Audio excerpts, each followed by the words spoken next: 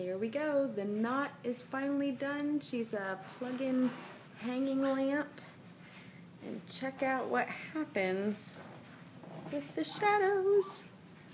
Oh my goodness.